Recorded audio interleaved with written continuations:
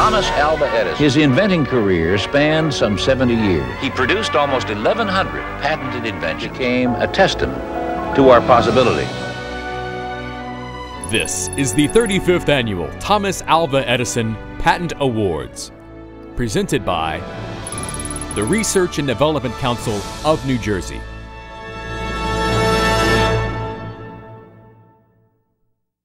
My name is Jesse Sabatini. I'm a chemist with the U.S. Army. I'm Jay Poret. I'm a physical scientist at U.S. Army ARDEC. My name is Russell Broad. I am a general engineer uh, at Picatinny Arsenal.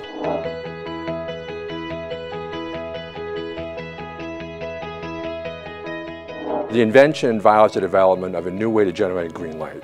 Traditional pyrotechnic compositions are composed of heavy metal material and then chlorinated organics. These are environmentally toxic and can release byproducts that are very dangerous. The new system that we've developed at Picatinny involves the use of a material called boron carbide. Boron carbide has traditionally never been used as a pyrotechnic in the past, but it's very unusual. It's actually hard, refractory, used in tank armor. But we found a way to make it emit green light.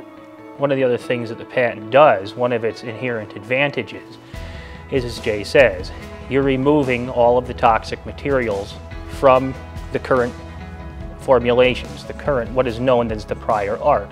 The prior art uses barium nitrate, barium being the heavy metal, as well as polyvinyl chloride. That is a polymer material which when it combusts forms polychlorinated biphenyls or many other uh, polychlorinated uh, organic pollutants. So our new formulation, the boron carbide formulation, does not contain heavy metals, does not contain chlorine at all, so you're sidestepping those potential environmental, as well as uh, carcinogenic issues.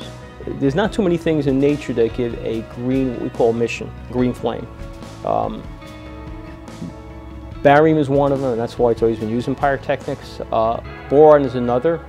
Um, copper salt, copper salt, certain copper salts, you have the right flame temperature will give you green as well. So what's out there that will give a green flame is rather limited. We started with boron, straight boron powder, different oxidizers, tried different formulations. We didn't get the performance required. Jay and Jesse said, well, why don't we try boron, car boron carbide, which to me seemed counterintuitive. Anybody knows about boron carbide, it's, it's really a grit. It's used as abrasive, has a very high melting point. We, we tried it. We, both Jay and Jesse really did the, he the heavy lifting in terms of formulation, they did some modeling and simulation to figure out what things should go together with the boron carbide to give the needed effect, and we wound up with a success.